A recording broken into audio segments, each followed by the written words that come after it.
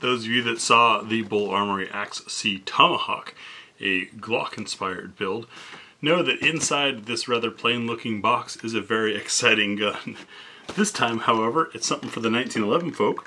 This is the SAS-2 Ultralight 3 and a quarter inch 9mm double stack 1911 by BUL Armory. Tabletop review and field strip coming up next on GB Gun. So we open this less than exciting box and have a really nice case. Throughout the hundreds of handguns that we've reviewed here on GB Guns, we've seen a lot of different packaging come from a lot of manufacturers. And it seems like most manufacturers are torn between do we go cheap on the packaging because people are just going to throw it away and not use it, or do we go fancy? And if we go fancy, is it worth it? BUL Armory has this bag here, even has lockable eyelets on there that I think is quite worth using as a range bag. Opening it up, up top, we've got plenty of spots for magazines or accessories. Our federally mandated lock. A cool, I think waterproof Ziploc bag with all the goodies inside. And then down below is our pistol. We have some adjustable Velcro straps to get things set up and a spare magazine. First though, we'll take a look at what comes with the gun. In our sealed baggie, we've got some decals. This is something that I understand is a BUL Armory signature thing that you get lots of cool swag with your gun. Then we've got a brass and nylon brush as well as an actual cleaning rod. Plate for optics and screw and our manual. And as always, we're going to take a look at the manual because how well it's written tells us how well the company wants you to understand the gun. This manual's rather thin and simple because, well, this design's been around for 110 or so years. It did have some interesting information in it. For example, a warning or advice to not store or carry the gun at hot half cock. And your basics for field stripping. And here's going to be the fun part since I always irritate 1911 folks with how I take it, take it apart. Here's yet another manufacturer recommending you remove the slide first. I know, heartbreaking, isn't it? I'm sure those folks who like to rant about that have skipped over this section and won't see it. So watch for those comments and we'll have a good laugh about it later. Now, BUL Armory is based out of Israel. I do not know if the gun is plus P rated or not at this point. In looking at the manufacturer information on the website, what I did see was that it's um, they recommend avoiding 147 grain or going heavier than 124 grain. I asked BUL Armory about that and I said that it's because some folks who have softer wrists tend to end up having a short stroke slide and then end up with malfunction issues.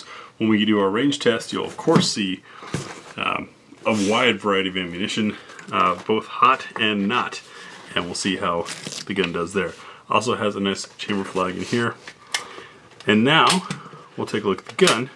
After all those folks who want to criticize the way a field strip in 1911 skipped over the manual section. Watch for those comments. Look at this thing.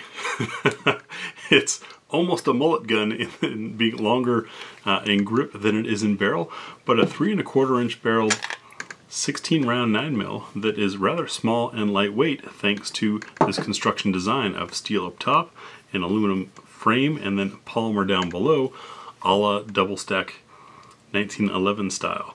Of course, first check for clear, as you can see. And when we do that, we also like to look at, do we get magazine ejection or release? A little bit of ejection. Definitely release though.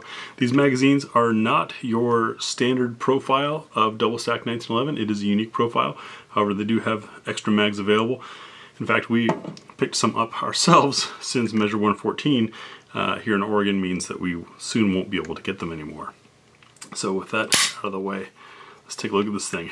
There went another 1911 Aficionado. I can, I can hear him crying that I dropped the slide. There's a gap right there. Um, folks think that that beats up on the extractor. That might have been the case at one point, but there's a cutout on the barrel for the extractor because it has to fit over the casing. You're not beating the extractor on the barrel when you drop the slide like that. Anyways, sorry folks, 1911s are always always fun for me. Um, starting up front, you see that interesting star pattern.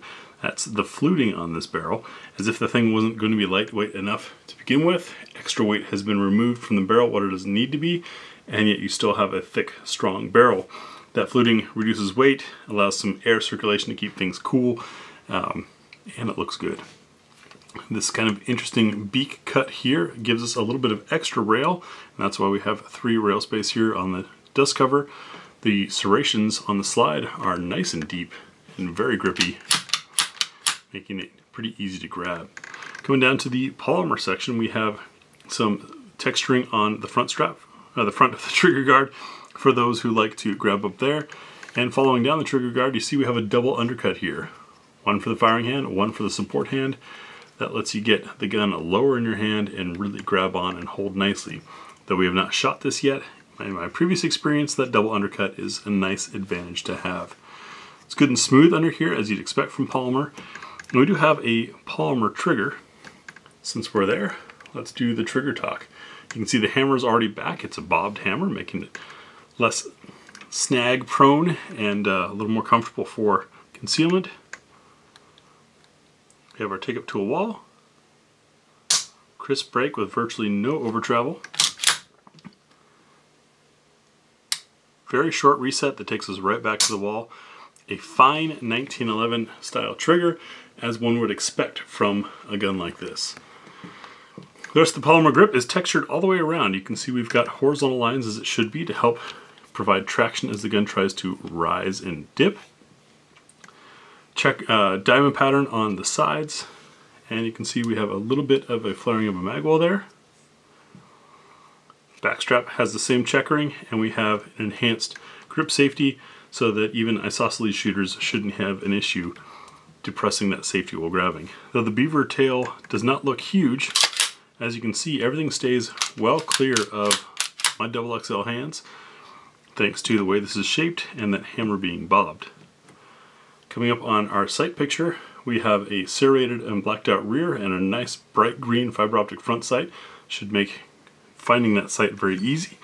And you can see that this rear sight is strongly protected and is also adjustable. We've got height and left and right on there. The safety is ambidextrous, and as far as how the safety feels, sounds, and travels, nice positive click up, no over travel, positive click down, and no over travel. Very nicely fit safety that functions on both sides. On the right side of the gun, sorry lefties, no controls over here. This is very classic 1911. Interesting to see that undercut there as they removed any unnecessary metal from the thing, which is part of what makes this so light. If you're wondering about specs, etc., check the pinned comment underneath. That'll be our article that has all that information, or at least the most that we can find on the thing. Next, we'll make some people cranky and field strip the SAS-2. To field strip the SAS-2 ultralight, we're going to check for clear. And then you're going to move the slide back until that cutout there is above your slide lock. I find it easier to grab from the front here and rest with my thumb through the trigger guard. And then we've got to push on the other side of that pin until it comes out far enough to be able to pry. And it is a tight, short, close fit, but there's our slide release. Now we're going to ease the slide forward off of the frame. Taking a look at our frame in here, you can see the aluminum. This is polymer. That might be Palmer. and we have a chassis inside. That would make sense. Smartly done. Very clever BUL armory. I like it. Now, the instruction manual just talks about uh, pistols with a full-length guide rod, more classic 1911-ish, and having to press this forward and then pin it to get everything out. We don't have to do that on this model. Just bring the spring forward to pull it out. You can see the first spring is not captured, but we do have a dual spring setup. That should make for a smoother shooting gun. Also note the Mickey Mouse face or bear face. That curved part is what sets up against the barrel. We have a bushing here Same curved part. Now tilt that piece forward and your barrel once unlocked will slide out the front. Taking a look inside our slide, you can see nice shiny stainless where there's any friction or contact points and everything else coated. And this is 70 series gun, meaning it does not have that drop safety plunger in there. Our itty bitty barrel, this thing is a bit dirty. Let me get this cleaned up. It's got some shipping grease, etc. on it. There we are. I hit it real quick with a Rem Wipe. But look at this brilliant fluting. Not only is it cool styling wise, but they've left this thicker part here to serve as a bushing for this bushingless 1911 design. Pretty neat looking. Nicely polished feed ramp. And for those who were crying earlier, there's the cutout there that allows room for the extractor. So you're not banging the extractor against the barrel. Next we'll check for chamber fitment, as always using our Nosler match. Same stuff I've been using for years. I am taking open suggestions though for another current production match production match grade 9mm because Nosler's not loading this anymore. As we drop this in, to listen for a plunk. See if it rotates freely, and it does. And then we're taking a look at how much brass is supported. We have a little bit unsupported there, but that's still a strong part of the brass. It looks pretty good, and the round should drop out, as it just did.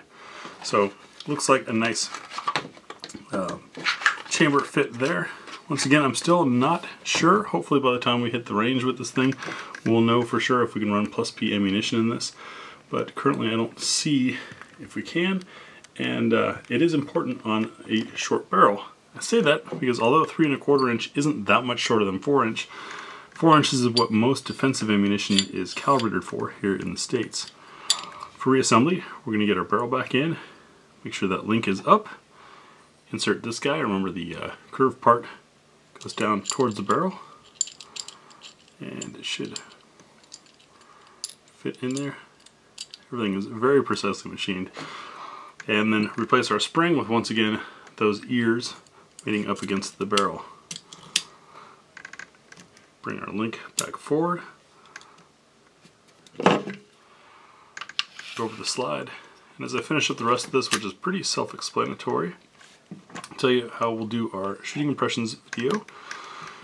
When we get to the range with this, you will see our cold shots, absolute first shots out of the gun, recorded so you get our true impressions of how everything goes. We'll do a full magazine plus one, putting 17 rounds into this little guy to see how it runs fully stuffed. Our trademark What's for Dinner test, running a variety of 10 different loads through it, including some not recommended by, but physically possible for the gun, so we can see what those results look like and uh, see if it's true or not or something you need to pay attention to. Then we'll do sights and trigger control on our spinner target, which with this sight picture should be excellent. Then some practical accuracy, five shots from seven yards, before you get the concluding thoughts and impressions of both myself and Miss Tia. That wraps up our tabletop review and field strip of the BUL Armory SAS 2 Ultralight, three and a quarter inch, nine mil. Thanks for watching.